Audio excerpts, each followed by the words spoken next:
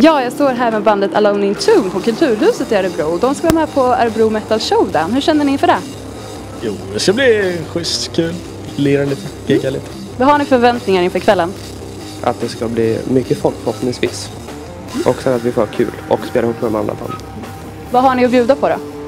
Jag har att bjuda på sju låtar som är riktigt grymma. Som, som jag repar jättemycket på. Så.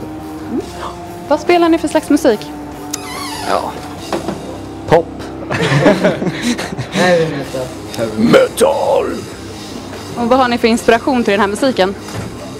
Inspiration är nog alla... Det är väl han som är inspirationskällan först och främst. Sen inspirationen kommer från allas hjärtan så att säga, om vara lite filosofiskt där. Ja. Det finns inget så här favoritband som har inspirerat er genom musiken?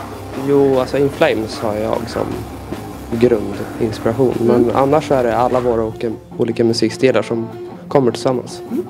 Det är jättebra. Eh, om ni skulle välja ett och vara förband till ett grymt band som ni tycker om, vad skulle du välja då? Ja, jag måste ju säga In Flames. Alltså, jag, jag tror alla är stora fans av In Flames. Alltså. Förutom en. Alltså, vad skulle du välja då? Eh, ja, vad måste jag välja? Du har inget? Nej, jag har inte. Jag har ingen idol. Mötley Crüe skulle jag ja. Den skulle jag välja.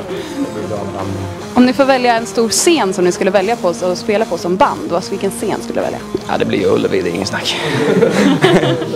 Den är skön, liten och bekväm sådär. Och utomlands, någon speciell scen? Fan, ingen jävla aning. Garden någonting. Jättestor. Ja, Madison. Ja, precis. Där står vi snart. Ja. Då räknar jag med det. För vad är era framtidsplaner? Ja, att vi kan leva på det här.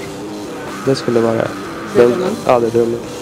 Vad kul. Eh, hoppas det, era drömmar går till uppfyllelse. Så ser jag fram emot att se er senare.